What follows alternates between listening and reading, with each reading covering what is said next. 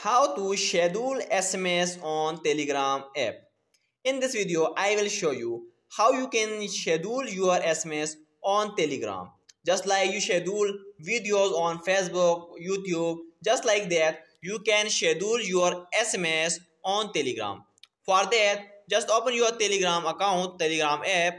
Just open chat that you want to send messages and schedule message.